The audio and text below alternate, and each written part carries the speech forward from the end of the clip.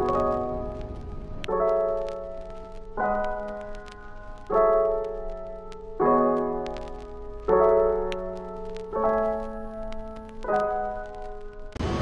everyone. In this vlog, I'm going to explore the science faculty a bit because it's really sad because NUS is now doing like a hybrid mode of teaching. So all of my lectures are online because a lot of my lectures have like a thousand plus people so there's no way to do it offline. And then for some of my lectures with like less amount of people like 90 people it's still online. And i do have some tutorials in person but there's only one that's in the science faculty so i don't go there very often and it's supposed to be my home faculty. So i, I really wanted to spend some time to explore that area basically because i heard for next semester NUS is trying to get back to 100% offline mode of teaching so I will need to go to that place eventually, and also I will be having some of my final exams there. So it's I guess I will have to explore there a bit. So yeah, I'm now going to head to one of the medicine buildings to do some health checks because I volunteered to participate in a study. So I need to go there in person to do a health check. That medicine building is just a five minute walk from the science faculty.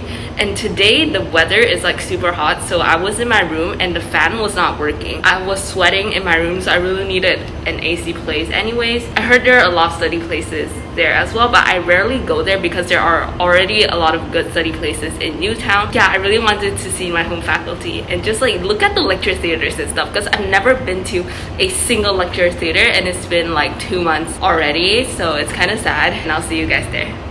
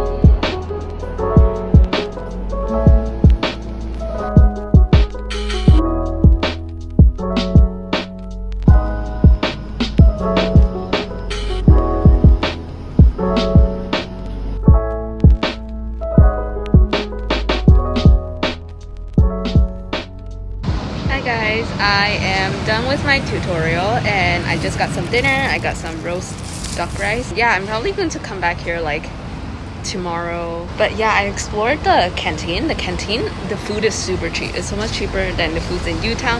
And that's just because Utown has expensive food. Okay, my bus is here. I gotta go first.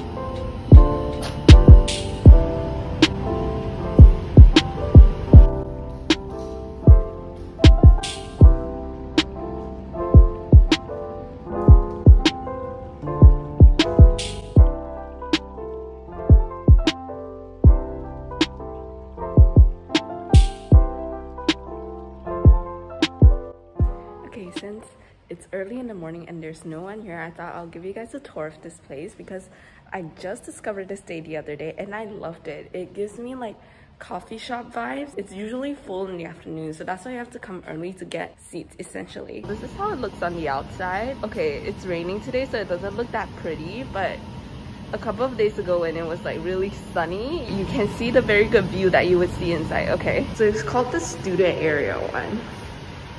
So honestly, the first thing that caught my attention when I saw this room was this line of couches. It's like right beside the window, so you get pretty good view. And to be honest, the rest of the room is just like tables with social distancing. So here you basically have a gigantic window. So when the weather is very good, you would get like very sunny days. I really like the vibe that this place uh, gives. I feel like it'll help me feel very motivated to study. And so here there's a side doors. I don't think this is very practical because the seats are very tiny. I think in the past there are more seats here but they closed it down because of COVID. Those are places there to study as well. It's Starbucks like right underneath us. And so here is me sitting by the window, like by the seats by the window. So yeah, so I'm gonna do some work first and then going to get some breakfast around 9, 9.30 or else I get hungry in the afternoon really soon. Yeah, so I'll see you guys and take you guys along with me in this journey.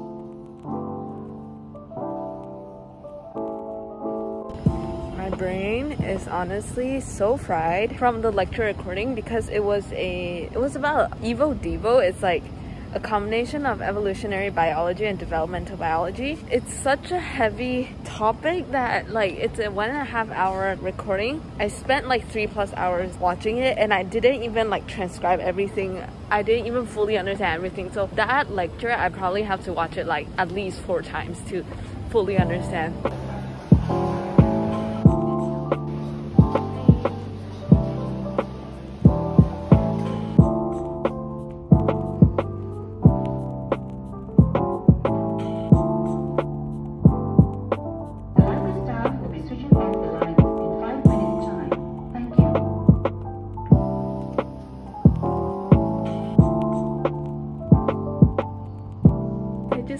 Study spot and look what I found. This is so sweet. Okay, so it's like on the edge here and it's like upside down. It says don't underestimate yourself, you got this. I'm probably never going to see this person, but it's just a very sweet gesture in my opinion.